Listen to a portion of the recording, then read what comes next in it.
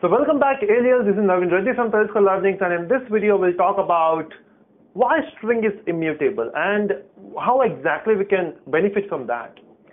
Now when we talk about mutability, uh, there, there's, there's one person who I admire a lot and he says uh, mutability is a crime and I, we all are criminals, right? We always change, uh, change those data, right? So when you say mutation, it means change, right? So let's say if you have an object and you want to change the values, then you are doing mutation. So we need to make sure that we are doing something which will not mutate it. So there are certain things, if you want to increase the performance of your system, make it immutable, right? So make your objects as immutable so that it will increase the performance. So string are the, strings are immutable because we want to increase the performance, right? And yeah, let's see how to how to do that. So what happens is normally we write this statement which is string uh, str equal to let's say if I write my name which is Navin okay make sure it is I okay? Uh, people normally search me with N A V double E N it's not that it's N A V I N okay? So it's N A V I N Reddy. Don't use double E there.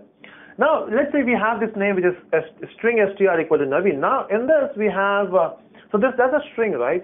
So what happens is inside your heap memory uh, we have something called as uh, oh, not this small. Let me let me take a big area. So inside your heap memory you'll be having something called as uh, what? It is called as string pool.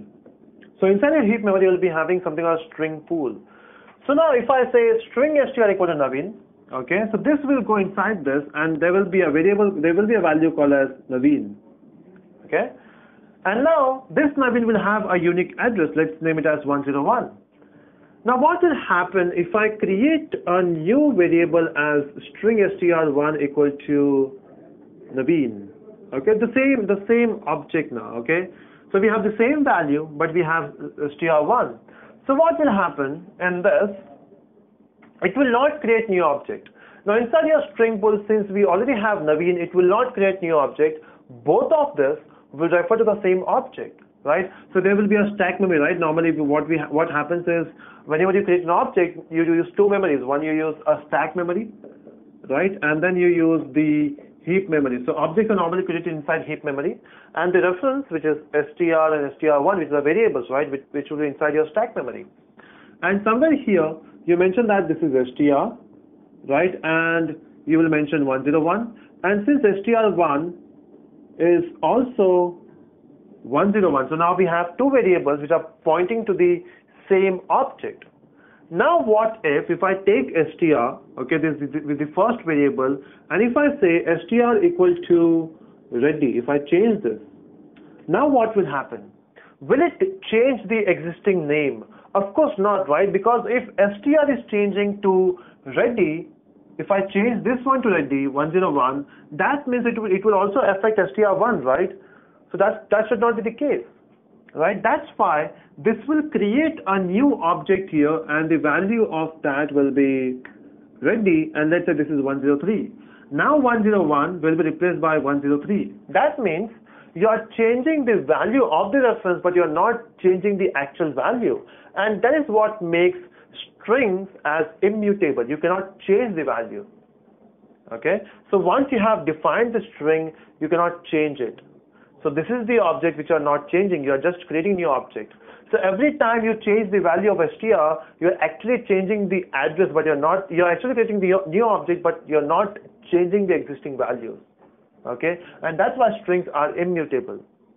But then question arises, we have one more way of creating string, right? We can say uh, string s1 equal to new string and in bracket you can pass Navin right? Even this you can do this right?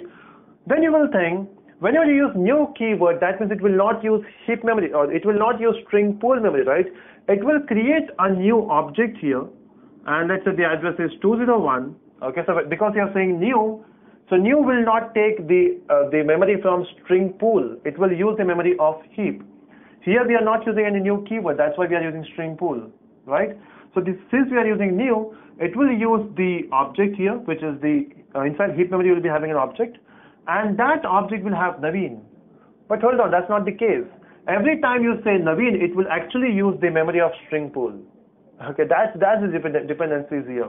So this Navin will be also coming from this Navin here. So of course you're using you're using a string pool memory indirectly. Okay, so this Navin will be coming from string pool. So this uh, str here will have a memory address which is 101. So that's the that's the problem with all the stuff. So even if you are saying Navin, that will use a string pool memory. But then question arises, how to make it mutable? And so can we make string mutable? Yes, we have two ways of doing it. The one way is using string buffer, and the another way is using string builder. Of course, we uh, we have the practical implementation of those in the uh, in this series. So this is the theory of why string is immutable okay? It uh, so first it it increases the performance of the system. Second every time you you create a variable because two two reference can share the same object right? Uh, this is actually called as flyweight pattern. So in design patterns we have a concept of flyweight, which means if possible we can actually reuse the objects i mean two references are using the same object so that's about why string is immutable. If you have any more questions, you can comment in the comment section. Uh, just I have just one announcement. We are the website is up and up and running. You can actually give test on website on my website now, which is telusko.com. Uh, you can also download the Android app, which is there on the Play Store now. Uh, you can search for, you can go to Play Store and search for Telusko app and download it. Try to, I mean, use it. There, there might be some bugs. Uh, report me if you if you find any bugs so that we can resolve it. And that's it. Thanks for watching and do subscribe for, for the videos.